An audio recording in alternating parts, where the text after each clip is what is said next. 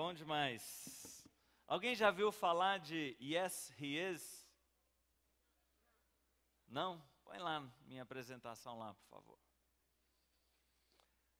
Yes, He Is é um site. Obrigado. É um site de compartilhamento da nossa fé. E ali está click to save. Em outras palavras, dá um clique ali para salvar. Para salvar o quê? Uma vida. Todos nós aí temos os nossos celulares, nossos computadores e a gente usa direto para comunicar coisas. Em época de Copa, muita bobagem, né? Eu nunca vi tanta bobagem postado por esse que vos fala, né? Hoje eu postei uns, na verdade eu postei 23 é, postagens sobre o Hulk. E a postagem era assim: Hulk erra, Hulk erra, Hulk erra. No final só estava assim: Hulk, todo mundo já sabia o que, que era. Porque nunca vi um homem errar tanto, né? Depois perdeu um penaltizinho no final, que não valia mais nada mesmo, né? Tudo bem. Toda hora nós estamos compartilhando coisas na rede social.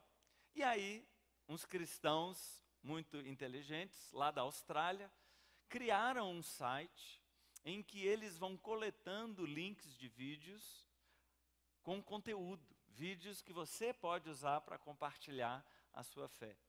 E é muito interessante, é, porque você manda o vídeo para a pessoa, e a pessoa, ao assistir o vídeo, ela é, é direcionada para um outro link, do tipo, você quer saber mais? E nesse outro link, é apresentado o Evangelho de uma forma mais clara, que chama um outro vídeo em outro vídeo, e aí a pessoa vai descobrindo por conta própria. E nós podemos ser simplesmente aquele link. Tá com o vídeo aí? Conseguiu? Não? Que pena. Então tá bom. Tá lá o site yesheis.com. Tá fácil. Tem gente já abrindo o celular aí. Tem aplicativos para iPhone e para Android. E, e, ele é muito interessante, muito simples, muito fácil. Tem alguns folderzinhos aqui para os mais afoitos, mais interessados, que explica como é que faz. Tem alguns dados interessantes. Olha aí, mídia disponível em SRE são 6 mil vídeos e 700 imagens, 163 mil pessoas compartilharam já a fé online. E já tiveram mais de 6 milhões de conteúdo visualizado. E aí a distribuição pelo mundo. Ah, a gente vê que o resto do mundo, exceto a Ásia e a Oceania ali, ainda os números são pequenos. Acabou de ser lançado agora, dia 8 ou dia 7 de junho, no Brasil. Então está fresquinho, você pode baixar, gratuito. E o objetivo dele, então, é te ajudar a compartilhar a sua fé. Ok? Então agora você vai guardar o seu celular, senão você vai ficar fazendo download aí, né? E aí você vai perder a palavra. Feche seus olhos, Deus quer falar ao seu coração nessa hora. Peça para Deus, fala comigo, Deus. Vem nessa hora agora e fala comigo.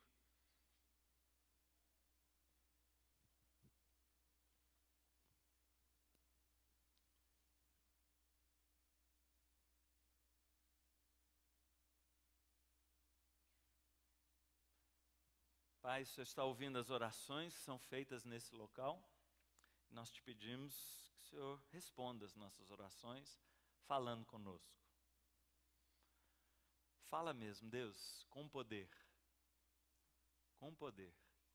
Em nome de Jesus. Amém. Hoje eu gostaria de falar sobre amados. Quem aqui tem uma amada? Deixa eu ver. Não, não pedi para abraçar, tem gente agarrando ali e tal. Tá valendo, tá valendo. Teve a mãe, o cara teve a mãe, foi esperto. Tem gente que levantou a mão e a esposa, pô, a namorada ou o que for, né? O outro já foi, eu tenho uma amada, não precisa responder isso para ninguém, né? Parabéns, você teve, você teve a mãe, muito bom. Essa é uma, uma necessidade que nós temos de sermos amados, é ou não é? Todo mundo quer ser amado. Agora, uma outra necessidade que nós temos é de sermos aprovados. Quem aqui já foi aprovado em alguma coisa? Tem gente que não levanta a mão por nada, né? É um loser, perdedor. O cara não ganhou, nunca foi aprovado em nada. Nem no exame de fezes o cara não foi aprovado, né? Puxa vida. Duas necessidades que nós temos de sermos amados e de sermos aprovados. É ou não é? Eu me lembro quando a minha atual esposa, anos atrás, me liga e no telefone ela diz: Eu quero namorar com você. Já imaginou? Depois de oito meses lutando, eu recebo um telefonema. E aí eu assim, estou namorando, que legal. Não é emocionante assim? Você fica sem saber, e daí, né? Estou namorando, nossa. Foi muito estranho no dia seguinte, quando eu encontrei com a minha namorada, né? Oi, você é a minha namorada? Muito prazer. Foi muito ruim, muito esquisito. Mas isso é porque eu tinha tomado um toco antes, né? Quem conhece a história, eu tinha muito constrangimento de você quer namorar comigo? Eu achava uma coisa meio brega, assim, né? Eu queria só estar tá namorando, mas a Simone não aceitou só estar tá namorando. Ela queria um, um, um pedido oficial. E aí, finalmente, eu criei coragem, ou mais ou menos, porque foi assim: eu, eu perguntei para ela, olha, se eu te desse cinco segundos para você responder é, uma pergunta, ela falou: faz a pergunta, então eu te dou cinco segundos para responder. Se eu fosse te pedir para namorar, qual seria a sua resposta? Ela: não. Eu falei: então tá, então eu te dou mais um tempo para você pensar. E fui para casa arrasado, né? Porque ela não me ama, né? Eu não sou amado oh, e tal. Eu estava deitado no sofá, escutando aquelas músicas que a gente deveria jogar fora, mas a gente guarda para essas horas especiais. Estou lá e tal, tal. Não sou amado, ninguém me ama, ninguém me quer, né? Tem tantos anos que eu procuro uma namorada, eu vou morrer solteiro, eu já tenho 15, 16 anos de idade e tal. Drama terrível, né? Enquanto eu estou lá nesse, na época chamava fossa, né? Curti uma fossa. Estou lá, até hoje é assim também? Achei que não tinha mais curtir fossa, não. E aí eu recebo esse telefonema e ela diz: Eu quero namorar com você. Presente de Deus. Também quem conhece a história sabe que ela foi para casa e perguntou para Deus: Deus, Roberto me fez uma pergunta hoje. Qual deve ser a minha resposta? E aí ela abriu lá e diz assim: namore o Roberto. Aí ela me ligou. Não, não foi bem assim não. Ela começou a folhear a Bíblia e leu vários trechos que ela já tinha lido antes, já tinha meditado. E de repente um dos textos pulou da página. E é aquele que diz assim: seja o seu falar sim, sim ou não, não. O que ultrapassa disso vem do maligno. E ela na hora falou com Deus, mas eu não fiquei enrolando, eu falei não. E ela sentiu lá dentro perguntando: mas então por que, que é sim? Naquela hora ela entendeu que o jogo que ela fazia de sim e não, de pode ser, não era de Deus. O que não vem, o que não é sim, sim ou não, não, não vem de Deus. E naquela hora ela foi curada. A minha paixão daquela época era conhecida por solenoide. Sabe o que é um solenoide? Aquela bobina, tipo um carretel de linha, de tão enrolada que ela era. Né? Ela toda enrolada. Os meus colegas chamavam esse monte de solenoide.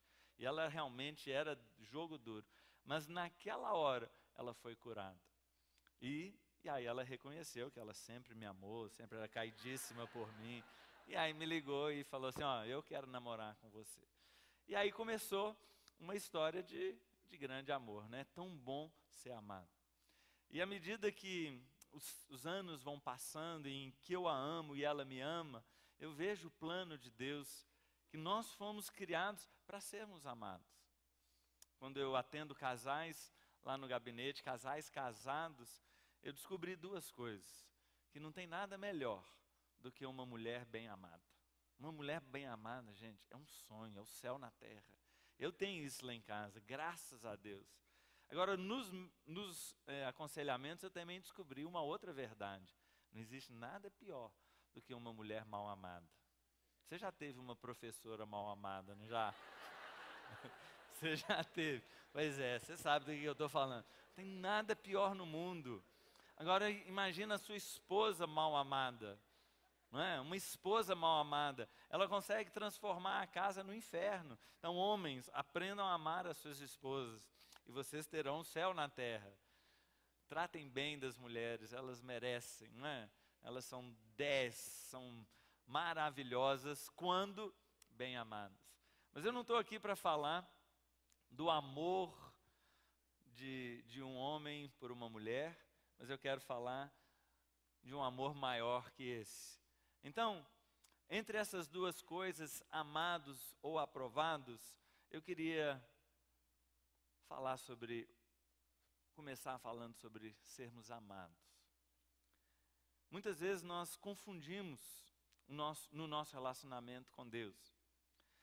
E muitas vezes achamos que Deus nos ama quando fazemos determinadas coisas, quando agimos de, de determinada forma, quando nós temos uma postura, um posicionamento, e aí Deus nos ama.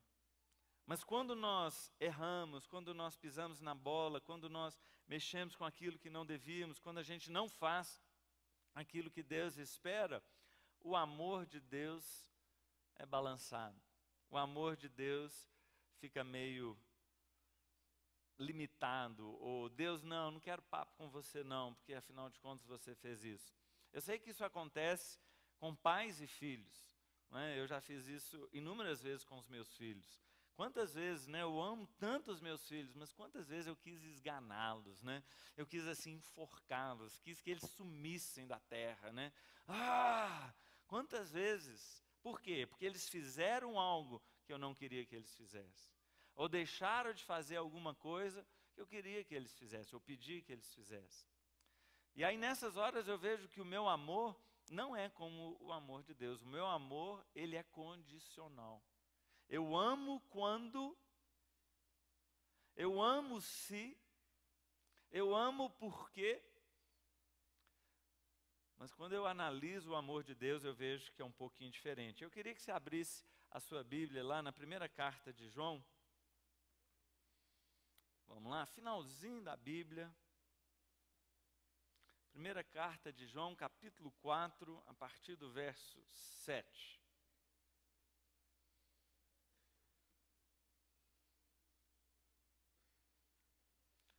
Acharam aí? Amados, amemos uns aos outros, pois o amor procede de Deus. Aquele que ama é nascido de Deus e conhece a Deus.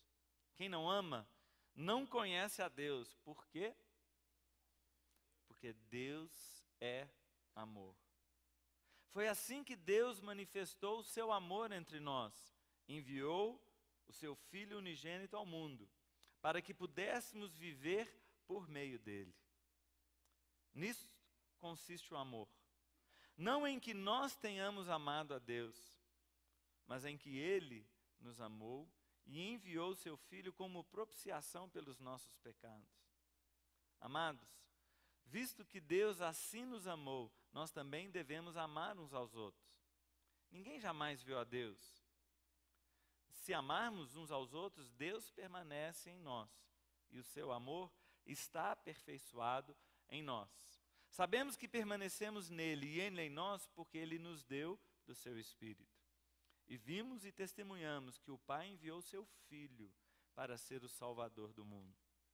Se alguém confessa publicamente que Jesus é o Filho de Deus, Deus permanece nele e ele em Deus. Assim, conhecemos o amor que Deus tem por nós e confiamos nesse amor. Deus é amor. Todo aquele que permanece no amor permanece em Deus e Deus nele. Sabe por que, que Deus te ama? Por que, que Ele te ama? Pensa nisso. Por que, que Deus me ama? Por que, que Ele escolheu me amar? O que, que eu tenho de especial para o Deus Criador dos céus e da terra olhar para mim e dizer: Ah, eu vou te amar? Né? Você deve olhar no espelho e se achar o cara, né? Deus me ama, cara. Né? Você dá aquela encolhida na barriguinha assim, né? Deus me ama. Só que a gente pensa que Deus nos ama da mesma forma que nós amamos as pessoas. O nosso amor, ele é condicionado a alguma coisa. Só que o amor de Deus não é condicional, sabe por quê? Porque o amor é a essência do que ele é. Sabe por que, que ele te ama? Porque ele é amor. Não tem jeito dele não te amar. Não tem como Deus não te amar. Porque se ele não ama, ele nega a si mesmo. E ele mostra, e ele extravasa, ele manifesta o seu amor como? Vendo a sua desgraça, vendo a sua condenação, vendo o caminho para onde você estava se dirigindo, vendo aquilo que você merecia. Sempre falo isso. A gente ouve por aí, você merece ser feliz, não é isso? Você merece ser feliz. Não, lute porque você merece ser feliz. O que, que nós merecemos? Nós merecemos o inferno. É isso que você merece. Pilantra, safado, pecador. Mas não é. Se vamos falar de merecimento, o que, que é que você merece?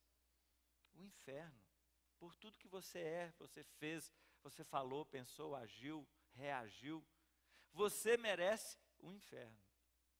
Mas Deus olhou para a sua desgraça, para a sua infelicidade, para o seu destino eternamente separado dele. Ele falou assim: ah, ah, não quero isso para ele. Não quero isso para você. E a Bíblia então nos conta como que ele enviou o seu filho e Jesus morreu numa cruz no seu lugar. Essa é a maior demonstração. Acabamos de ler isso. E a Bíblia fala nessa passagem, no verso 15: se alguém confessa publicamente que Jesus é o Filho de Deus, Deus permanece nele e ele em Deus. Então, Deus demonstrou o seu amor por nós, independente do que nós fizemos ou deixamos de fazer. Deus manifesta o seu amor enviando o seu Filho por nós. E a Bíblia diz que se nós abrirmos o nosso coração, se nós reconhecermos o sacrifício de Jesus naquela cruz, como tendo morrido no meu lugar, no seu lugar, se você reconhece isso, você entra, você usufrui, você é mergulhado nesse amor. E a sua vida passa a ser envolta no amor de Deus. Todo mundo sabe disso, quem já é convertido, quem já é da igreja. Mas o absurdo é que nós não vivemos assim. Nós achamos que o que interessa é aquela outra palavra. Qual que era a outra palavra? Aprovado.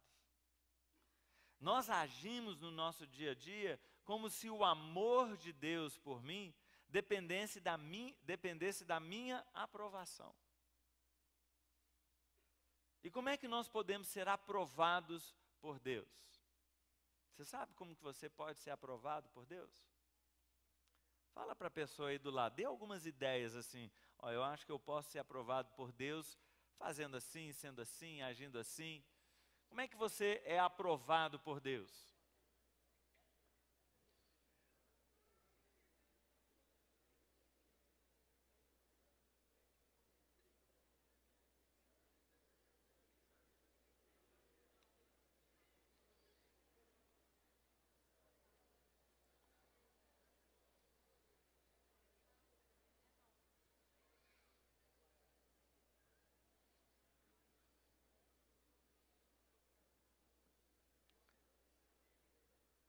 O nosso relacionamento com Ele muitas vezes é, é baseado nisso que você acabou de falar. Eu acho que Deus me aprova. Deus olha para mim e diz assim: grande garoto, boa, deu uma dentro. E aí Ele me ama quando eu faço isso ou aquilo. Então, aquela semana em que você terminou ela invicto, lendo a Bíblia todos os dias, separando o seu tempo a sós todos os dias. Você termina a semana dizendo: Yeah! Essa semana Deus está me amando doidamente. Não é? Essa semana eu estou com tudo. Aí não, pensa baixo, que senão Deus ouve o que você está falando, fica chato. Mas assim, eu acho que eu posso pedir alguma coisa agora. Por uma semana inteira, sem faltar um dia. E um momento a sós assim daqueles de verdade, eu orei mesmo. Eu li de verdade, anotei, estudei, mergulhei. Cara, Deus deve estar assim, ai, que coisa mais linda. Deus deve estar com uma boa vontade na minha direção enorme. Então eu eu vou criar coragem, eu vou pedir aquilo. Vou pedir. Eu acho que agora Deus vai vai me ouvir. Deus, me dá uma namorada.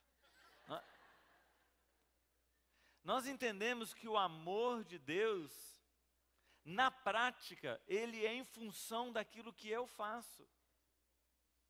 E quando eu vou agindo de determinada forma, que eu entendo que são formas que agradam a Deus, eu consigo a boa vontade de Deus para a minha vida. E isso se parece com as religiões do mundo. Por que, que você acha que os índios ficam dançando em volta de uma fogueira? Tribos na África fazem aqueles rituais. Ou sacrifica gente, ou animais, ou não sei o quê. Esses filmes de mitologia que os caras têm que fazer um monte de coisas para apaziguar a ira dos deuses. No final das contas, nós pensamos que Deus é igual e que, de acordo com a minha postura, minha atitude, eu vou ser amado. Ou eu vou ser mais amado. Mas nós lemos nessa passagem aqui de 1 João que Deus é Deus é amor. E ele te ama. Uma próxima passagem em Efésios, abre lá, Efésios capítulo 2, ou capítulo errado. Efésios capítulo 2. Não sei quem que escreveu isso. Efésios capítulo 2, verso 1 a 9. Vocês estavam mortos em suas transgressões e pecados, nos quais costum, costumavam viver, quando seguiam a presente ordem deste mundo e o príncipe do poder do ar, o espírito que agora está atuando nos que vivem na desobediência. A Bíblia está dizendo: vocês estavam mortos em suas transgressões e pecados. Em outras palavras, você não valia nada. Você não tinha mérito nenhum. Você não tinha nada. Você estava morto nas suas transgressões e pecados. Anteriormente, todos nós também vivíamos dessa forma, satisfazendo as vontades da nossa carne segundo os seus desejos e pensamentos. Como os demais, os outros, éramos por natureza merecedores da ira. O que é que você merece? A ira. Todavia, Deus, que é rico em misericórdia, pelo grande amor com que nos amou, deu-nos vida com Cristo, quando ainda estávamos mortos em transgressões. Pela graça, vocês são salvos. Deus nos ressuscitou com Cristo e com Ele nos fez assentar nas regiões celestiais em Cristo Jesus para mostrar nas eras que hão de vir a incomparável riqueza da sua graça, demonstrada de forma prática em sua bondade para conosco, em Cristo Jesus. Pois vocês são salvos pela graça, por meio da fé. Isso não vem de vocês, é dom de Deus. Não por obras, para que ninguém se glorie. Quer algo mais claro que isso? Por que, que Deus te ama? É porque você faz algo que desperta o amor dele por você? Não. Quando você estava morto, a Bíblia diz que Deus nos amou. Deus foi rico com sua misericórdia. Deus te amou quando você não valia nada. Por que, que então Deus te amou? Porque Deus é amor. E se a gente entende isso de verdade, você vai entender duas coisas. Primeiro, que não tem nada que você possa fazer para Deus te amar mais. Nada. Não, então quer dizer que se eu viver assim um assado, isso não muda o amor de Deus para mim? Não, não muda. Se você bater invicto um mês inteiro, de momento a sós com Deus, lendo a sua Bíblia, orando, jejuando, Deus não vai te amar mais por causa disso. Deus não vai te amar mais. E a outra frase é que, independente do que você faça ou deixe de fazer, Deus não vai te amar menos. Essa é a mais difícil de entender. Porque a gente pensa no nosso amor. Dependendo de como as coisas vão, o nosso amor varia. Me lembro de uma discussão que eu tive com a Simone, uma discussão chata, longa, ruim. Nós somos muito diferentes um do outro, e a coisa esticou e estava ruim, chato, e aquela conversa, não sei o que e tal, e finalmente conseguimos resolvê-la. Eu lembro a gente estava arrumando a cama assim, e a Simone falou: Olha, apesar de, de todas as diferenças, eu te amo. Eu não gostei. Não gostei. Porque o apesar dela excluía aquilo que eu sou, é ou não é? Apesar de você, eu te amo. Não. Eu não quero o apesar de todas as diferenças. Eu quero simplesmente, eu te amo. É ou não é? Eu quero que ela me ame com as diferenças. Porque eu sou o que eu sou. Não, isso foi a pregação da semana passada. Eu sou inteiro, um pacote. Me ame ou me deixe. Como é que é? Não, não é isso não. Ame o Roberto. Não apesar do que o Roberto. Você gostaria de dizer, ah, não, apesar de você ser tão chato, de você ser tão complicado, eu te amo. Não. Deus nos ama. Ponto. Ah, essa semana eu fiz isso, isso. Deus te ama. Nossa, essa semana eu fiz isso. Deus te ama. Nossa, essa semana eu deixei de fazer isso. Ai, Deus te ama. Deus te ama, gente. Nós não vamos conquistar nada a mais do amor de Deus. Sabe por quê? Porque Deus é amor e Ele te ama. Ponto final. Vocês entendem isso? Mas tem uma outra palavrinha. A outra palavrinha é aprovado. São duas coisas diferentes. Uma é ser amado e outra é ser aprovado. Nós estamos em Efésios 3. Ó, oh, desculpa, continua errado, né? Efésios 2, paramos no 9 e agora é o 10. E diz assim, só relendo o último verso: Pois vocês são salvos pela graça por meio da fé. Isso não vem de vocês, é dom de Deus. Não por obras, para que ninguém se glorie. Porque somos criação de Deus, realizada em Cristo Jesus, para fazermos boas obras, as quais Deus preparou antes para nós as praticarmos.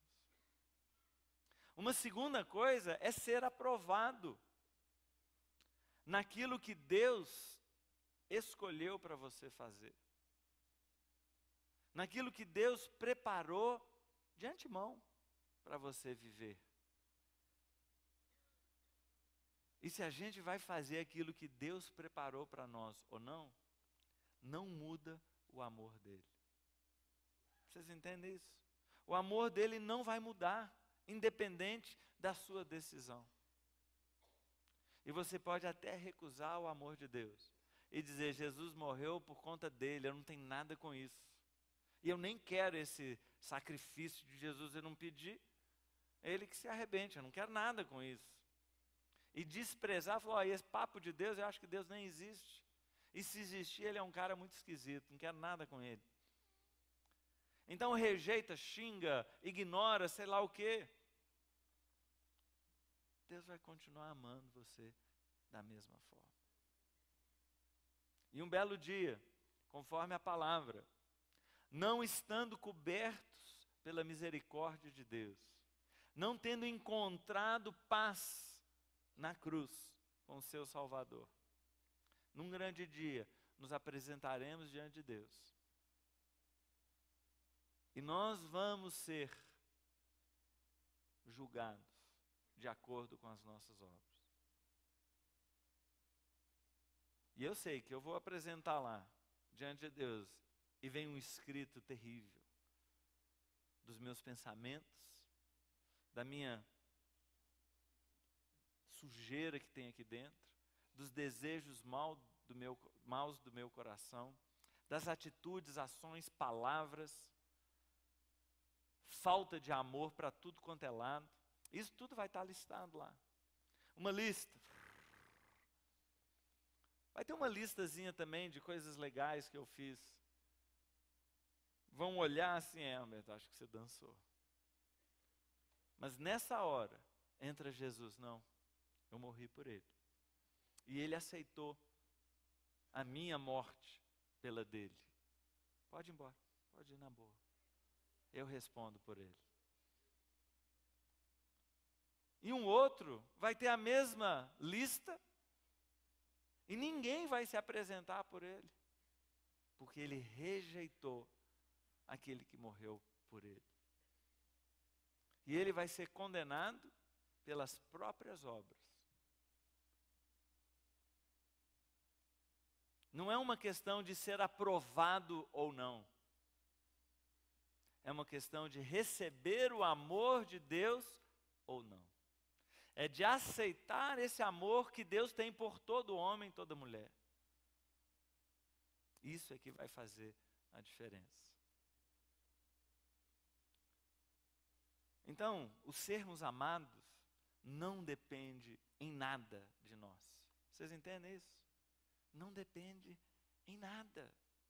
Você é amado. Por quê? Porque Deus é amor.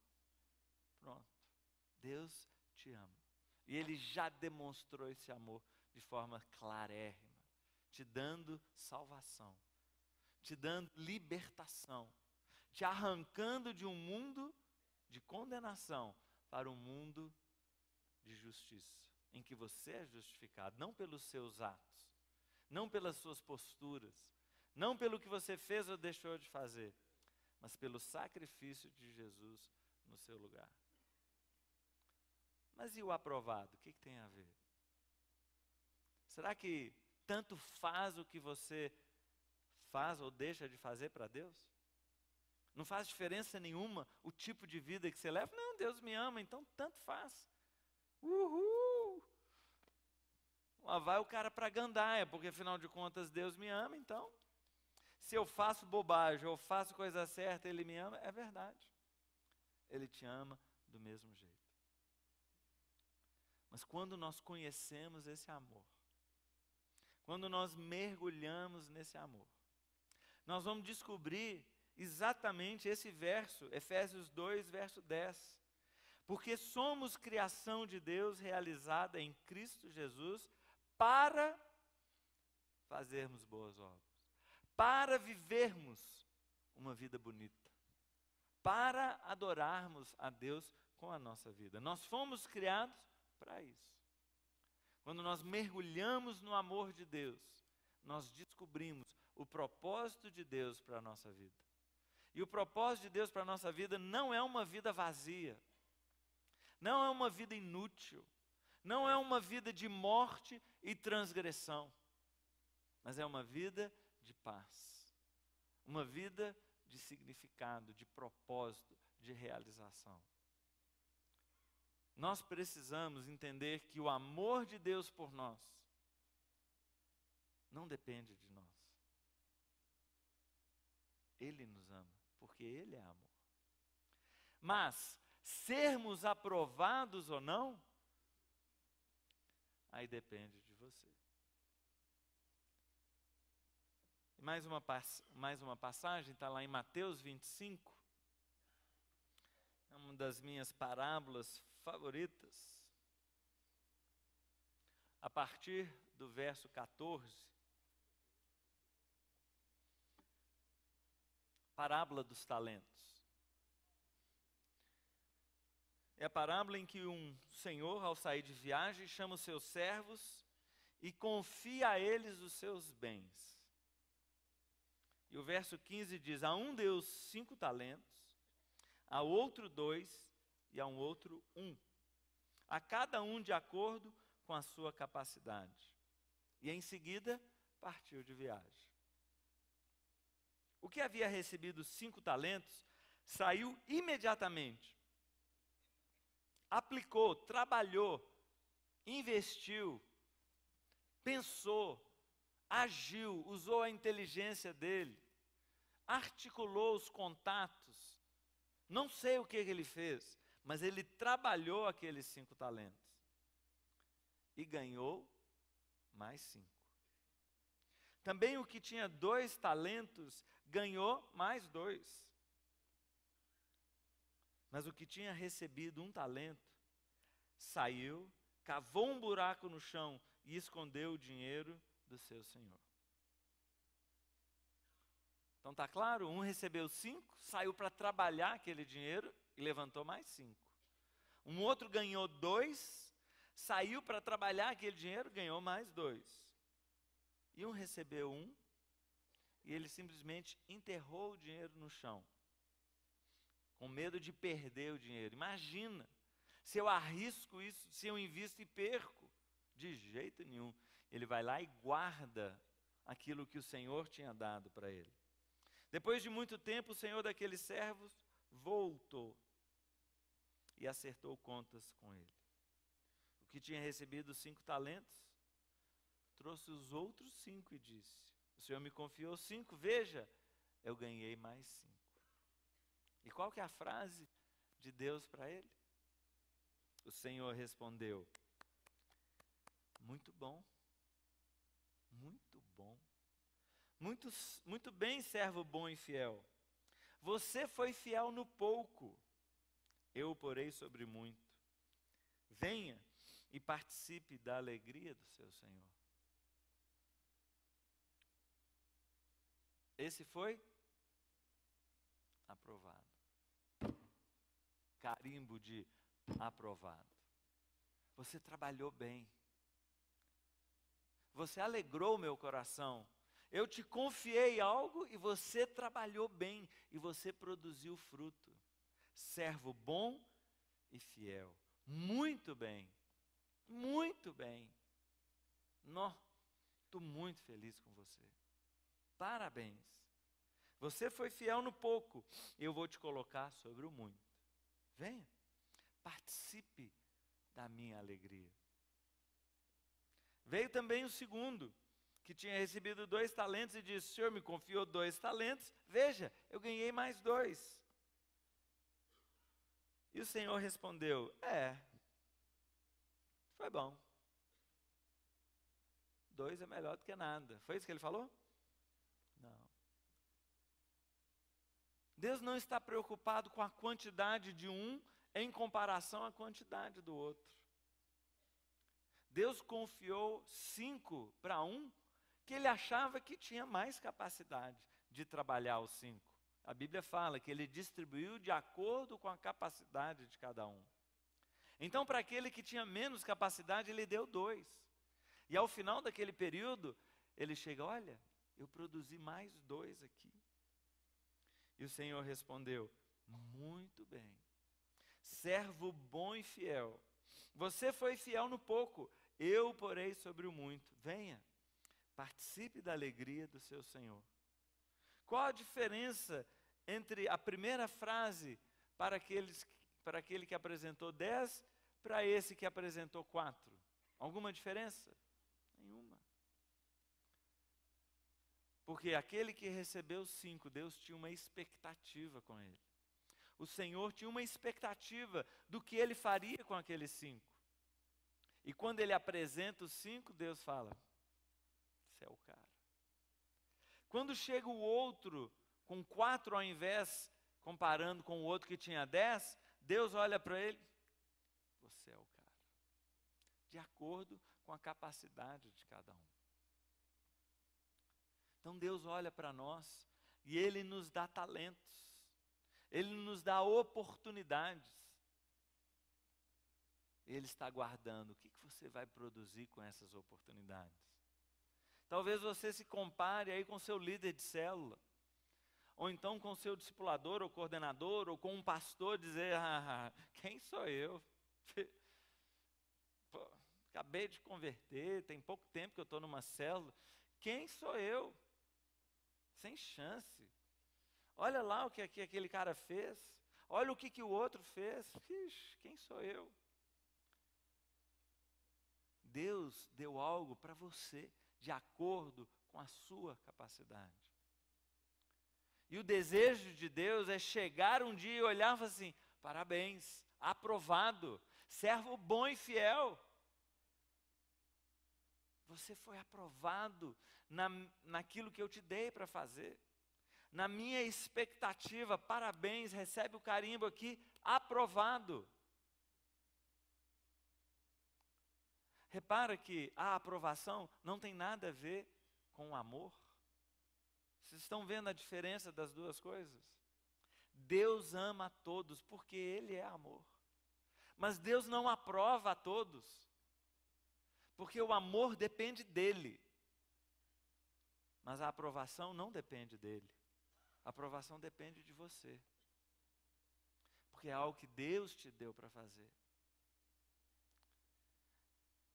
E ele esperava que cada um daqueles três fossem aprovados. Mas quando chegamos no terceiro, por fim, veio o que tinha recebido um talento e disse: Ah, eu sabia que o Senhor é um homem severo, que colhe onde não plantou e junta onde não semeou. Em outras palavras, eu te conheço, eu sei que você é o cara que você gera onde você nem plantou, que você colhe coisas onde você nem semeou. E eu vou perder isso que o Senhor me deu? De jeito nenhum. Então, para não correr risco nenhum, eu enterrei, guardei com todo carinho.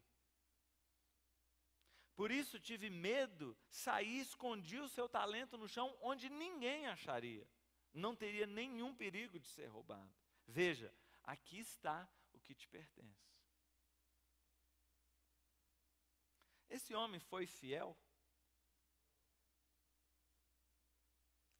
Essa é uma coisa que às vezes a gente confunde. Porque ele recebeu uma coisa, guardou, tranquilinho, bonitinho, e agora está devolvendo. Muitas vezes a gente acha que o que Deus espera de nós é fidelidade, é essa fidelidade. É de cuidar daquilo que Deus nos deu e devolvê-lo da mesma forma. Mas o que a gente vê nesse texto, não é bem assim que Deus entende. O Senhor respondeu: servo mau e negligente. Você sabia que eu colho onde não plantei e junto onde não semeei. Você sabia disso. Então você devia ter confiado meu dinheiro aos banqueiros para que quando eu voltasse, o recebesse de volta com juros. Já que você não tem condições de fazer nada, pelo menos entrega para alguém que tem. Já que você não quer fazer nada, então entrega para alguém que tem condições, ou que queira, que tem interesse em fazer alguma coisa. E o Senhor diz: tirem o talento dele e entreguem-no ao que tem dez. Pois a quem tem, mais será dado e terá em grande quantidade. Mas a quem não tem, até o que tem lhe será tirado. E lancem fora o servo inútil nas trevas, onde haverá choro e ranger de dentes. Vocês entendem a diferença entre ser amado por Deus e ser aprovado por Deus? O amor de Deus não é como o nosso. O nosso amor é quando a gente aprova alguém. A minha, minha avó tinha uma frase, ela dizia assim, ela sempre elogiava alguém, ela dizia, nossa, aquele médico é excelente, ele me adora. Sempre. Nossa, aquele vizinho é gente boa demais. Ele me ama. Nossa, eu gosto demais daquela pessoa. Aquela pessoa é ótima. Ele sempre me elogia. Então, o amor da minha avó era em função da aprovação que ela tinha pelo que as pessoas faziam com ela. Eu sempre, sempre, cito esse caso da minha avó, não que ela fosse diferente de nós, mas é que ela verbalizava isso, né? Porque nós também somos assim. Essa pessoa que está do seu lado aí, por que, que você gosta tanto dela? Ou não, né? Talvez não goste, desculpa, não foi essa a ideia, não quis constranger ninguém. Por que, que você gosta tanto dessa pessoa que está do seu lado? Eu sei por quê. Porque ela faz algo a seu favor. Ela está te dando alguma coisa. Ela contribui com você de alguma forma. E aí você ama. E aí você acha essa pessoa muito legal. E aí você adora estar com essa pessoa. Por quê? Porque ela te dá algo. Isso é normal, natural. Mas Deus não é assim. Deus nos ama, independente de nos aprovar ou não. Ele nos ama. Você entende isso? E o que, que Deus quer de nós? Deus quer nos aprovar. Deus deseja nos aprovar. E Ele nos ajuda a sermos aprovados. Ele quer que você viva uma vida extraordinária. Ele quer que você viva uma vida vitoriosa. Ele quer que você tenha um casamento lindo, porque Ele criou o casamento para ser algo, algo extraordinário. Ele quer que você tenha um namoro alegre, satisfatório, gostoso. Ele quer que a sua vida faça diferença na vida dos outros. Ele quer que você cumpra o propósito para o qual você foi criado. E a Bíblia deixa muito claro nesse trecho que quando você é aprovado em algo, o que quer que você ganha? Além dos tapinhas nas costas, além do valeu, o que, que, que você ganha? Férias, descanso, nossa, trabalhou bem demais entra para o meu descanso. A gente lê essa passagem muitas vezes assim, mas o, a Bíblia é clara. Você foi fiel no pouco, sobre o muito eu vou te colocar. E aquele que recebeu cinco, agora trabalharia com o quê? Vocês são ruins de conta, hein? Com onze, gente. Ele pegou cinco, gerou dez, assim: e aí o Senhor falou: pega essa, esse talento aí e dá ao que tem dez. Não é o que gerou, ao que tem dez. Tá? Porque esse cara aqui, eu posso dar mais. E à medida que nós vamos respondendo positivamente aos desafios de Deus, o que, que Ele vai fazer com a sua vida? Vai te dar mais. Quantos líderes de célula nós temos aqui hoje? Fica com a mão bem levantada aí. Antes de você liderar uma célula, você achava que você era o cara? Nossa, eu sou o cara. E eu vou liderar uma célula extraordinária e tal. Alguns já baixaram a mão, né? Gente, você aceitou a liderança de célula como um grande talento, como uma grande responsabilidade. O que, que você fez com essa responsabilidade? Quantos discipuladores nós temos aqui hoje? Deixa eu ver. Discipuladores. Por que, que você é um discipulador? Por que, que vocês são discipuladores? Sabe por quê? Por causa da parábola dos talentos. Oh, e o Rodrigo, Dudu, os coordenadores aqui. Por que, que vocês viraram coordenadores? Por causa da parábola dos talentos. Por... Não tinha outro. Mas é o melhor que está tendo, né, bicho? Vocês honraram a Deus com os talentos que Ele deu.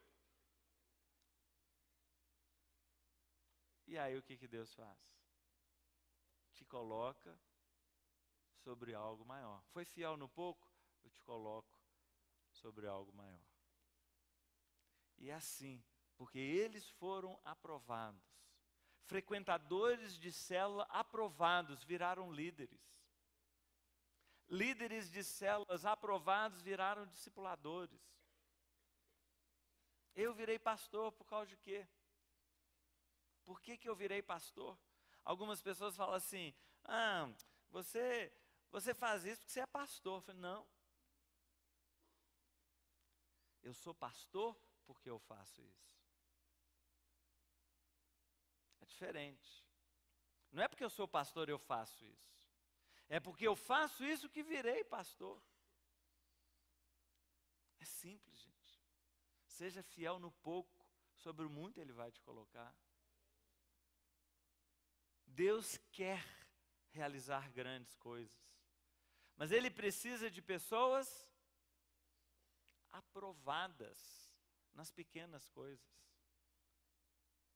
E quando você é aprovado na pequena coisa, Ele te dá algo maior. Sabe com quantos que eu comecei a minha liderança? Comecei com 15 adolescentes numa sala de aula de escola dominical. 14 homens e uma mulher, imaginou? Comecei ali. Eu não queria, não estava interessado, mas me empurraram, fecharam a porta, jogaram a chave fora e eu fiquei lá, bom, então vamos. E eu fui aprovado com aquela turmazinha. E quantos não foram? Que passaram, que perderam o privilégio. E eu fui aprovado com aquilo ali, foi fiel sobre o pouco, sobre o muito eu vou te colocar. É simples, gente.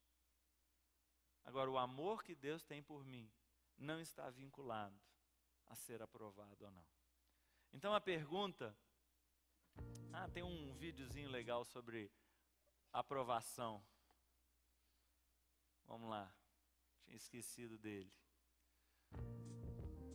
Pode pagar. Such a feeling's coming over me. There is wonder in most everything I see.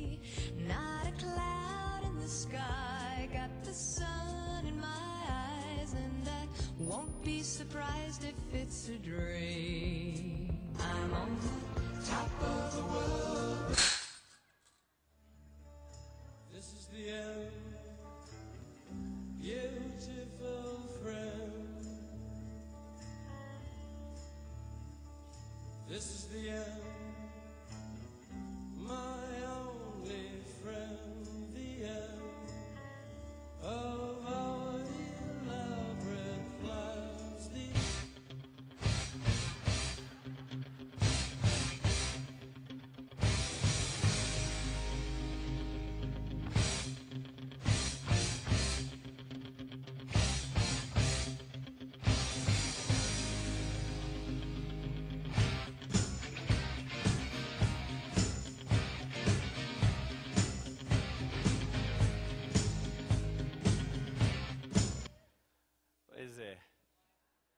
Amados ou aprovados? Não, não é um ou outro, não é? Amados e aprovados. Esse é o sonho de Deus para nós. O sonho de Deus é que nós superemos as dificuldades, superemos as coisas que vêm contra nós, que superemos o medo, o constrangimento, superemos qualquer oposição e sejamos aprovados naquilo que Ele nos chama para fazer. Eu queria, aqui na, na loteria aqui, eu queria uma pessoa que viesse aqui à frente dar um testemunho sobre ter sido amado por Deus. Alguém que descobriu o amor de Deus.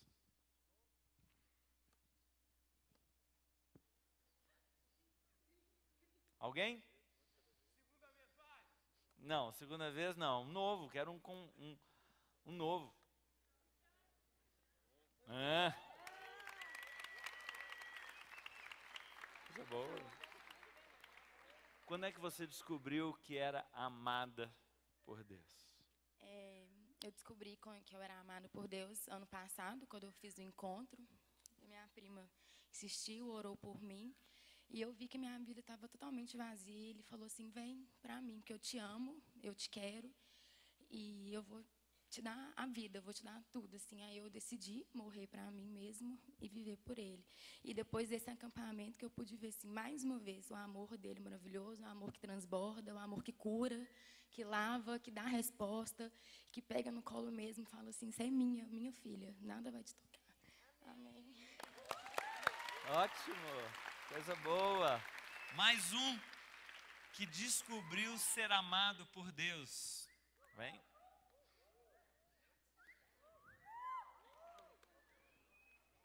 Boa noite, gente. É, eu converti há um ano, mais ou menos. É, não quero falar muito, mas é, por muito tempo durante a minha conversão, eu via Deus como aquele Deus que está pronto para me castigar, sabe? Essa palavra eu creio que foi muito para mim assim, porque eu sempre tive dificuldade, já compartilhei com alguns amigos meus, de ver Deus como esse Deus de amor sabe? O Emanuel de Gera até uma vez me falou assim: "Rei, hey, mas Deus é só amor, não tem o outro lado de Deus". Só que eu tinha muita dificuldade. E eu tenho trabalhado muito isso e Deus, Deus tem trabalhado isso em mim. E ontem eu estava num jantar com a minha família, assim, e eu parei mesmo para pensar é, um, um momento assim. Eu falei: Deus me ama, independente de qualquer coisa, independente do que eu faça, do, independente do que eu pense. Ele está comigo e isso é muito, isso me faz mesmo amar a Deus mais e mais, sabe? Ver esse amor dele incondicional por mim, independente de ele não, assim, é claro que tem a questão do obreiro aprovado, mas como o pastor falou, não não é o amor de Deus não está nisso. Ele é incondicional e isso é maravilhoso. Amém. Glória a Deus. Excelente. Agora, esse é o amor de Deus. Nós somos amados. O que que essas duas que deram o testemunho aqui tiveram que fazer para ser amada por Deus? Porque sermos amado, amados por Deus não depende de nós. O que nós precisamos é descobrir isso e nos render a isso, nos colocar debaixo dessa cachoeira e viver nesse amor, porque Ele nos ama. Na outra mão, nós temos desafios de Deus para nós. E nós tivemos, há uns 15 dias atrás aí, aquele dia de evangelismo global, né? Dia Mundial de Evangelismo. E eu ouvi histórias incríveis de um monte de gente de todas as, as redes, de todas as igrejas, um monte de igreja fazendo coisas incríveis. Deus nos deu um desafio. Eu queria um testemunho aqui de alguém que foi aprovado, que recebeu um talento e gerou algo com esse talento naquele dia, no dia 14. Deixa eu ouvir um testemunho aqui de alguém que foi aprovado no dia 14. Então vem, já levantou a mão lá. Pode vir outra pessoa também. Cutucando aí. Então vem, já, já foi convocada pela sua célula aí, vem logo. Conta para nós como que foi a sua aprovação nesse desafio. Bom, nosso desafio, na verdade, começou porque a gente foi para o Mineirão, perto do Mineirão, no jogo da Colômbia, não foi? E aí a gente ficou lá conversando com os outros, entregando panfletos e tal. E enquanto eu estava andando, a menina falou assim: Deixa eu ler essa blusa, que a gente estava com a blusa da célula. O que estava escrito? Estava escrito é, que o nosso nome, é, a gente fez um nome para a célula e estava falando sobre força, como que Deus nos dê a força e tal. Ela falou, por favor, deixa eu ler sua blusa. Eu virei, ela leu, e eu dei meu telefone para ela. Só que eu achei que ela não ia aparecer, mas eu fiquei conversando com ela no WhatsApp. E ela mora muito longe, ela mora em Venda Nova, nossa célula na Pampulha. E ontem apareceu Ô, gente, são duas regiões é, totalmente é, diferentes. Aí. Não tô falando. Só porque é do outro lado, não. É, é bem diferente mesmo. Aí, ontem apareceu ela, mais duas pessoas. Então, assim, e foi uma bênção a célula. Deus falou muito com ela. Ela mandou uma mensagem para mim hoje. Eu fiquei muito feliz porque a gente pode ser usado, é só a gente querer. Amém. Glória a Deus. Mais um aqui. E aí? É, no dia do evangelismo, né? A gente foi para o FanFest no Expo Minas. A gente comprou, acho que uns mil panfletos, uns 100 gibis evangelísticos também. E a gente também tinha 100 novos testamentos que a gente já tinha guardado. E aí a gente foi e vencemos aquela timidez inicial, né? E várias pessoas que foram com a gente, é, elas nunca tinham experiência com evangelismo, né? E elas achavam, tipo, que ia chegar lá, o cara ia xingar você, né? Falar, sai daqui, vem falar de Jesus, não. E as pessoas ficaram impressionadas com a receptividade das pessoas, né? E tivemos chilenos que, um chileno que recebeu Jesus, colombianos, pregamos até para um muçulmano depois no outro dia, demos um Novo Testamento para ele em árabe e pegamos vários contatos das pessoas para chamar para células depois. E é interessante, quanto mais você vai fazendo a obra, né? Acho que foi nesse mesmo dia do evangelismo, a gente foi para outro lugar, depois a gente evangelizou. Deus trouxe várias outras pessoas para a gente evangelizar também, né? Então, quando você está fazendo a obra, né? Deus mesmo ele vai trazendo as pessoas para você, para ouvirem a palavra, né? Porque é, tem muita gente que precisa ouvir e tem pouca gente para falar, né? A gente estava imaginando na Savassi, no dia que a gente estava evangelizando, né? se a igreja inteira tivesse lá, né? A gente ganhava esse mundo para Jesus, né? Tipo, mas tinham poucas pessoas, né? Porque muitas pessoas não vão, muitas por timidez, outras por medo, né? Mas quando a gente vai, né, Deus usa e as coisas acontecem, né? Porque é Ele que faz. Né? Amém. Glória a Deus. Pro outro ali. Boa noite, gente. Eu acho que o que mais me tocou nesse dia 14 foi um senhor, um senhor mais velho, né? A gente estava na região do Barreiro e. Uhul! Só que aí tinha, estava descendo uma, uma avenida lá e tinha um senhor assim parado no poste assim, encostado assim meio cabisbaixo. Eu fui cheguei e falei assim, ô senhor, eu posso ler um versículo para o senhor? Aí ele falou comigo assim, não. Aí eu falei assim, nossa Deus. Aí tipo assim, eu falei assim, não, eu vou continuar a perguntar o porquê. Aí eu falei com ele assim, mas por que, que o senhor não vai deixar eu ler para o seu versículo? Eu falei assim, não, porque eu não sei ler. Ela quer dizer, eu posso te dar um versículo? Ele falou assim, não, porque eu não sei, eu não sei ler. Eu falei assim, então beleza, então posso ler então esse versículo para o senhor? Aí ele falou assim, não, então pode, porque na verdade eu ia dar para ele o versículo. Ele falou assim que não, não é, ele não queria receber. Aí eu falei com ele assim, ah, então eu posso ler? Ele falou assim, não, então pode, é, pode ler. Aí eu li para ele o versículo e falei assim, não, tá vendo? Mesmo nos momentos que a gente, a gente não, não tem, é, como eu posso dizer, a gente não consegue, né, algumas coisas, né, né, nós que somos irmãos, Deus ele, ele põe outras pessoas para nos ajudar. Então, o senhor não consegue ler, né? Então eu consegui ler esse versículo para o senhor. E foi muito legal isso. Ótimo. O que mais? Ó, já está aqui. Boa noite, gente. É, no dia 14, nós fomos para a pra Praça da Estação e foi muito interessante. A gente reuniu uma, uma, algumas células misturadas. É, tava Matheus, tava Lucas, a Fran, e tinha uma galera. É, Lana é, e tal. É, e aí a gente é, fez uma roda e começamos a orar, começamos a clamar ao Senhor. E nisso chega um Senhor e pega bem na minha mão. E ele estava apertando muito forte. E, e eu sentia é, a força da mão dele, o peso que estava dentro do coração dele. E aí a gente orava, orava, orava, orava, e os meninos foram orar, orar é, específico com ele, sozinhos com ele. E, e, o Senhor falou, fala com ele, fala com ele. Eu falei, não, Deus, mas o que, que eu vou falar para ele? O que, que eu tenho para falar? E, esse, e, o cara, ele estava revoltado com o filho dele. Ele estava, ele foi contando para a gente que ele estava, que ele com muito ódio no coração dele para o filho dele, que é chamado Mateus, e que ele estava com vontade de matar o filho dele. Aí ele foi contando que o filho dele chegava, chega em casa, espancava ele. Ele falou: Olha, para mim, eu sou um senhor e meu filho chega em casa e me bate. E, enfim, ele ele ele estava muito triste, muito nervoso, coração muito endurecido. E aí o Senhor falou: Fala com ele.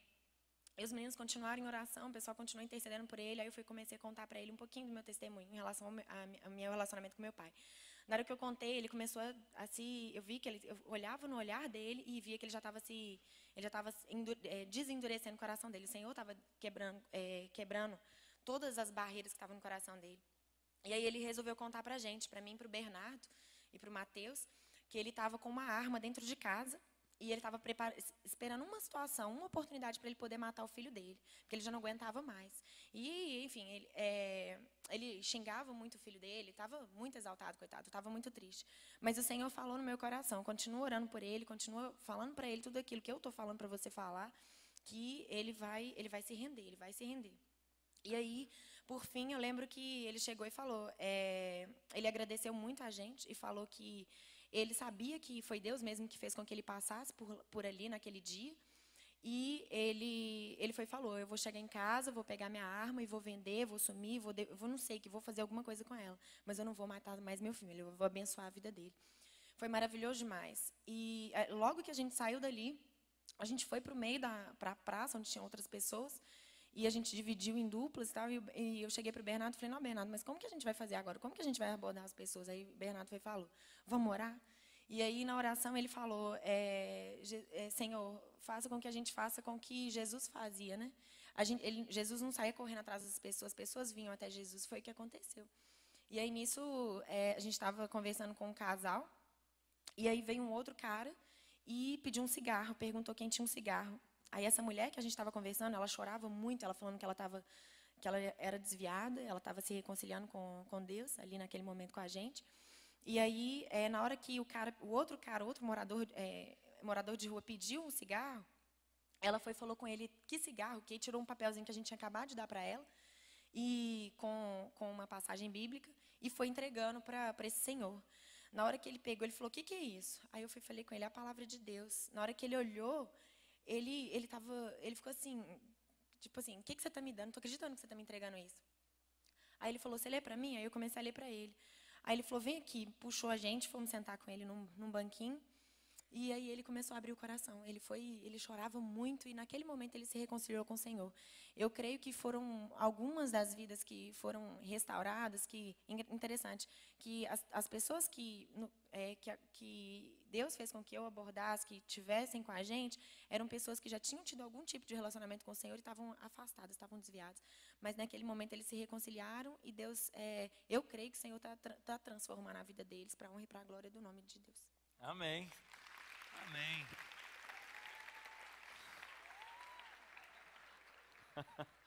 tá bom, bora. Boa noite, gente. É, meu nome é Paula, né?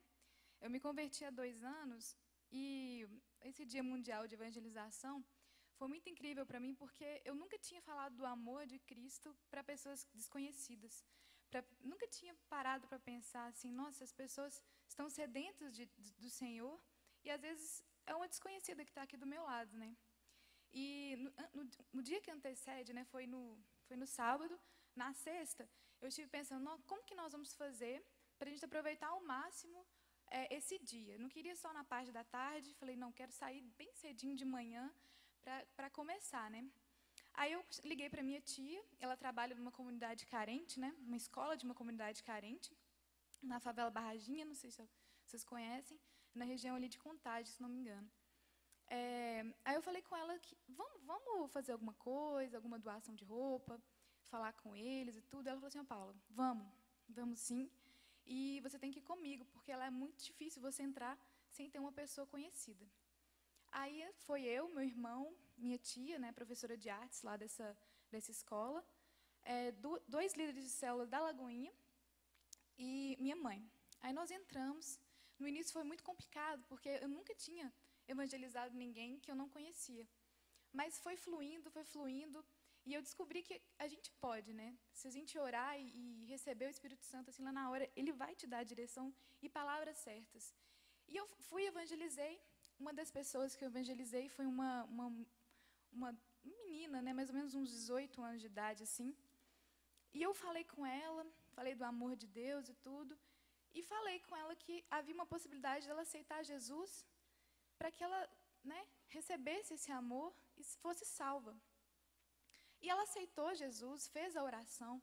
Falei com ela depois da importância de ler a Bíblia e tudo, e saí. Aí, em seguida, minha tia estava comentando com minha mãe: Nó, a, a fulano de tal não aceitou Jesus, a gente tentou de tudo, mas a outra aceitou. E ela é irmã do traficante. Aí eu falei assim: quê? Aquela mulher que eu, que eu falei é irmã do traficante? Aí a minha tia falou assim: é, a irmã do traficante, você não estava percebendo o dinheiro que estava rolando naquela casa, não? Toda hora chegava dinheiro, toda hora saía, você não estava percebendo? Falei, não. Tipo assim, foi, foi incrível, sabe? Porque alguém que sedenta mesmo, eu falei, gente, se eu soubesse disso antes, eu não teria pregado para ela. E ela aceitou, foi maravilhoso, né? Mas a, a esposa do traficante estava com o bebê na barriga, falou que não queria, né? Acabou não aceitando.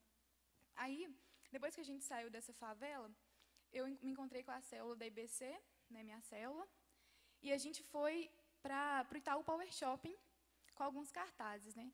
E num desses cartazes estava com o seguinte, com o seguinte dizer, né? É, se você morresse hoje, seu nome estaria escrito no livro da vida? Estava só assim. E a gente passeando pelo, pelo shopping, assim. Aí algumas pessoas olhavam, faziam assim, pensavam assim. Aí eu virava, eu estava junto com ela, ela segurando um lado, eu segurando no outro. Aí eu falava assim: se gerou dúvida, vamos conversar. gerou dúvida, gerou dúvida. Aí, não sei o quê. Aí falou assim: chegou uma das pessoas, eu perguntei: e aí, você acha que se, se daqui 10 minutos você saindo do shopping, você fosse atropelado? Para onde que você estaria? Que onde amor. você estaria, né? Aí muitos falavam, ai, no hospital. Não, você morreu. Para onde você está? Onde você estaria? Aí eu, o pessoal, a menina falou assim para mim, no inferno, lógico. Falei, por quê? Uai, eu bebo, eu não sei o quê, eu fumo, eu não sei o quê, não sei o quê.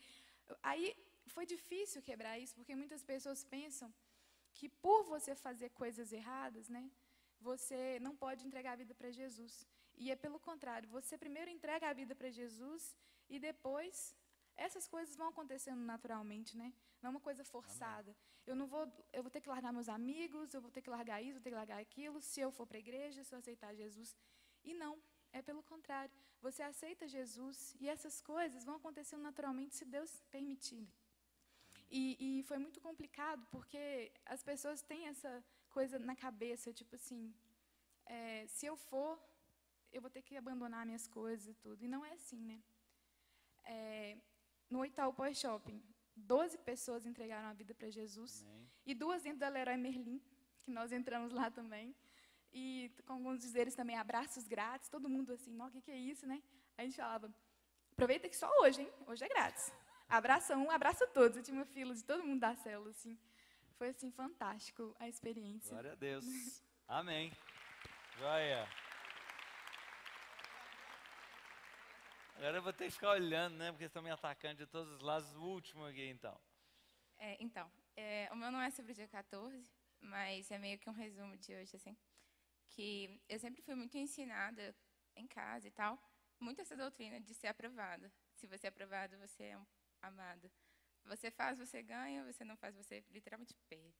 E eu sempre tive muito um complexo assim com Deus, que eu ficava me questionando muito com Deus assim, ai, Deus, eu nunca trouxe uma pessoa eu pessoalmente para Deus.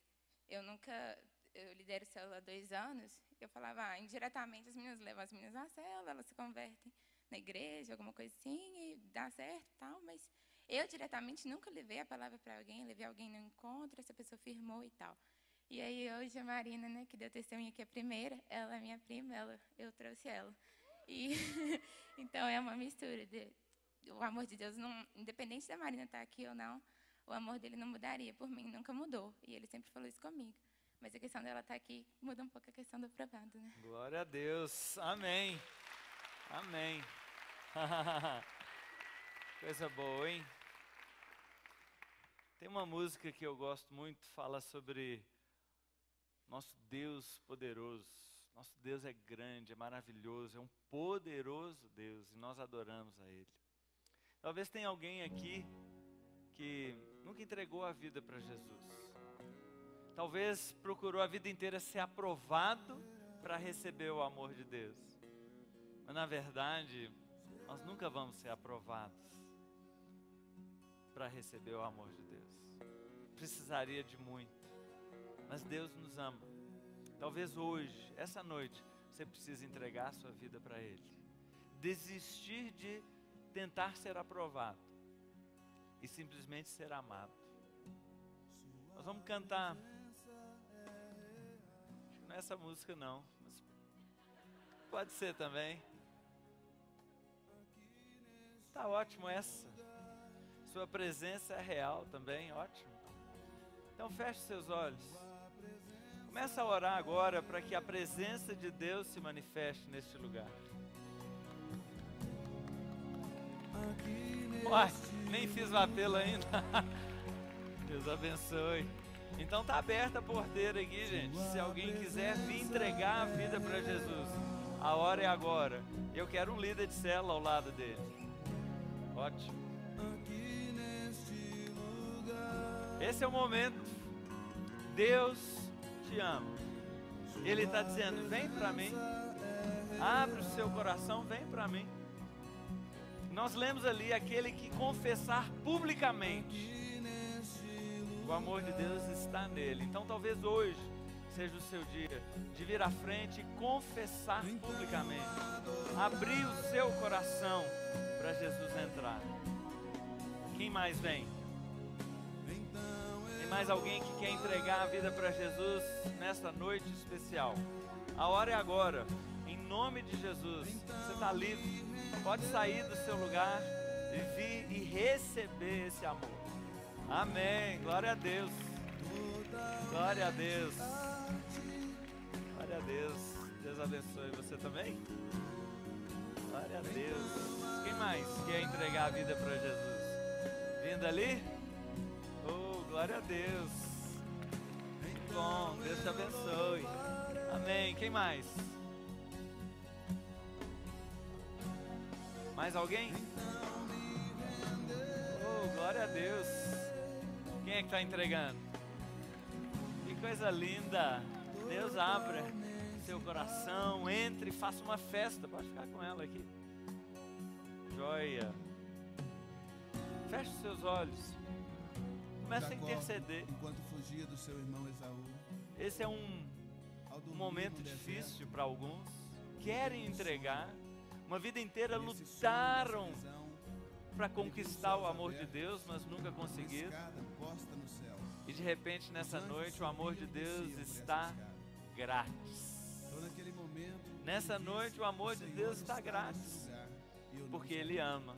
E é graça mesmo. Então comece a interceder, porque tem gente lutando agora no íntimo. Lutando.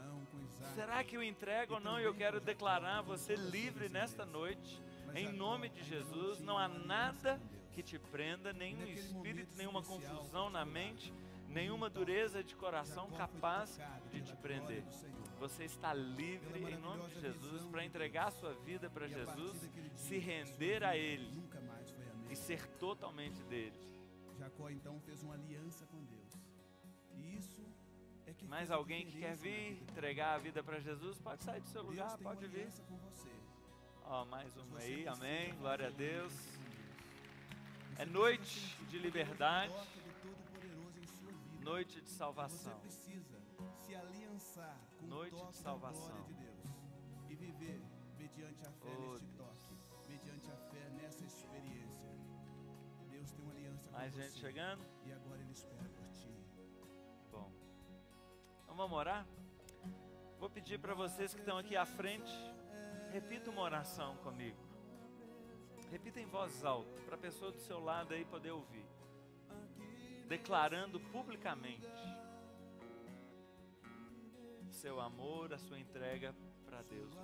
Você vai dizer assim: Deus, não ouvi? Deus, nesta noite, eu entrego a minha vida para o Senhor. Eu abro o meu coração. Eu reconheço que o Senhor me ama. E eu me coloco agora debaixo desse amor. Não vou mais fugir. Não vou mais me esconder. Mas eu me coloco debaixo do seu amor.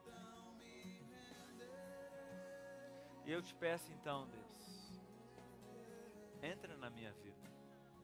Perdoa o meu pecado. Limpa a minha vida, a minha história. Me dá um novo começo. Dá uma nova história. Completamente diferente da anterior.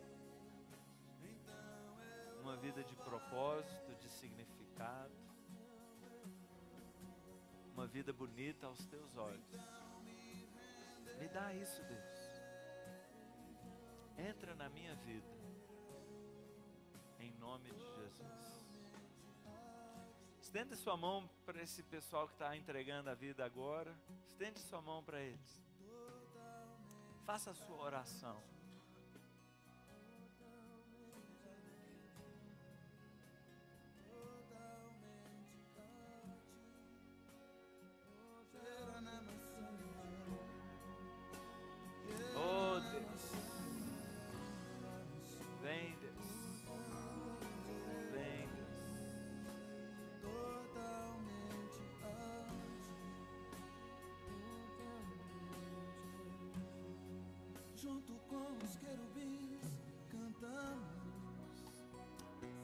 Nós abençoamos esses jovens, essa criança, está entregando a vida para o Senhor nesta noite, se rendendo ao seu amor, e nós te agradecemos porque isso é obra tua, Deus.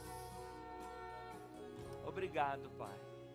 Receba cada um deles, envia o teu Espírito sobre eles agora e mude a história deles para sempre nunca mais sejam os mesmos. Nunca mais vivam como viviam antigamente. Mas que uma nova história seja desenhada. Uma história de beleza, de amor, de alegria, de paz, de bondade, de mansidão, de paciência, de alegria, de amor, de paz. Faz isso, Deus. Toma-os em tuas mãos. Em nome de Jesus. Amém. Amém? Salva de palmas. Parabéns. Vocês estão tomando a melhor decisão da vida de vocês. Nós queremos dar um presentinho para vocês. Anotar o seu nome. Te dar um presentinho. Tem uma, uma turma ali, ó, tá abanando os braços. Segue aquela turminha ali. Nós queremos anotar o seu nome, orar por você.